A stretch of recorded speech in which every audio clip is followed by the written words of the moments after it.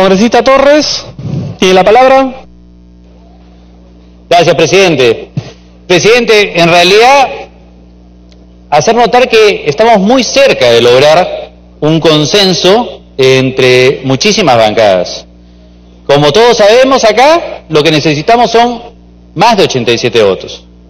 Aprobar la norma con una votación menor sería llevar al país a un referéndum.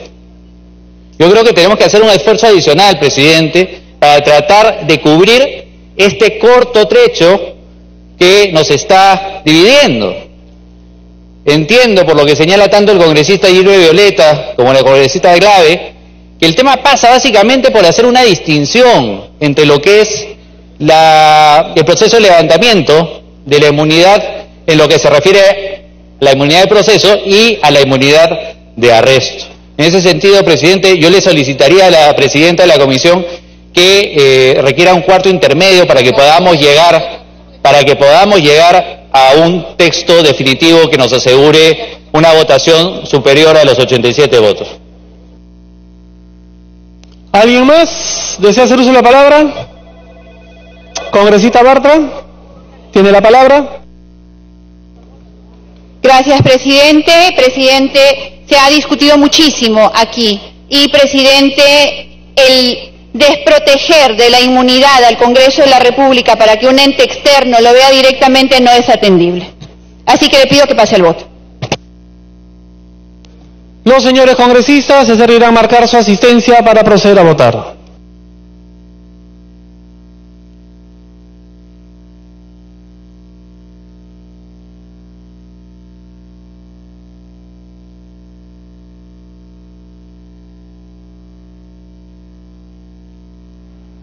Bien, lo que la congresista Marisa Lave había pedido eh, antes eh, de pasar a lo que va a ser el registro de asistencia y a la decisión final de la presidenta de Constitución, Rosa María Bartra, era sobre esta diferencia que eh, habría que hacer en lo que es, por ejemplo, la inmunidad de acuerdo al proceso para que lo vea el Tribunal Constitucional y también de arresto. Estamos hablando del tema de la inmunidad parlamentaria.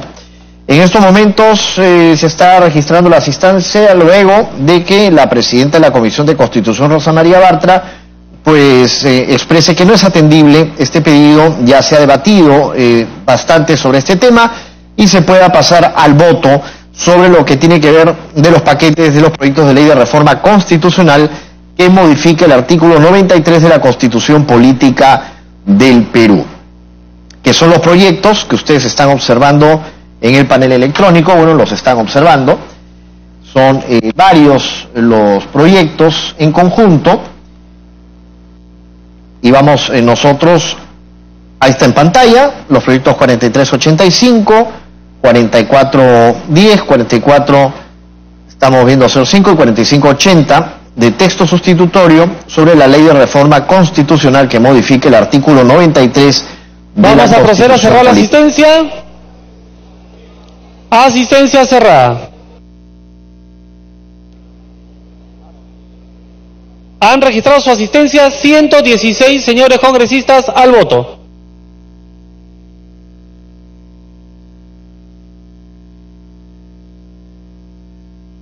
Son 116 los congresistas que han registrado su asistencia. Ahora sí se va a votar sobre este proyecto de ley de reforma constitucional. El congresista Miguel Torres también había eh, pedido para poder tratar de cubrir el corto trecho que faltaba y no llevar a un referéndum en torno al tema de la inmunidad, que tiene que ver con uno de los proyectos de la ley de reforma constitucional que modifica el artículo 93 de la Constitución Política. Vamos a cerrar la votación.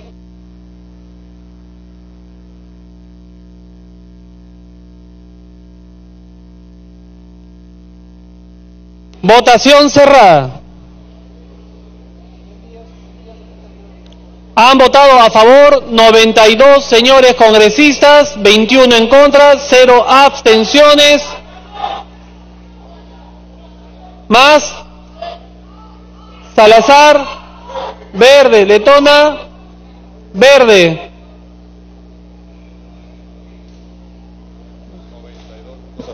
94 votos a favor, Oliva, rojo.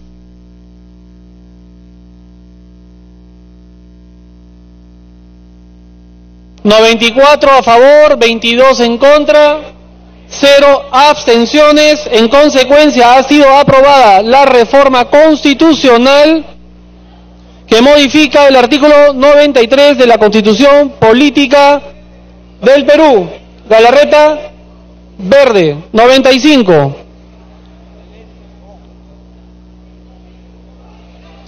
En atención al número de votos alcanzados y en ejercicio de la potestad que la Araos cambia su voto rojo. En atención al número de votos alcanzados y en ejercicio de la potestad que la Constitución le reserva al Congreso en el artículo 206, el texto de la reforma constitucional será objeto de debate y segunda votación en la siguiente legislatura ordinaria. Señores congresistas, antes de solicitar la dispensa, permítame felicitar a la presidenta de la Comisión de Constitución y a todos los congresistas que han participado en las distintas sesiones de dicha comisión por el enorme esfuerzo y por el trabajo desarrollado que nos ha permitido el día de hoy cumplir con el país y entregarle estos proyectos que forman parte de la reforma política. Se solicita la dispensa del trámite de sanción del acta para ejecutar lo acordado.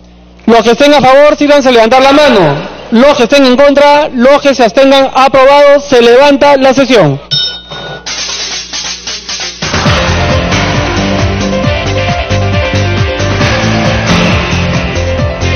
Se levanta la sesión y de esta manera el presidente del Congreso pues también eh, se despide y saluda a eh, los miembros de la mesa directiva actual.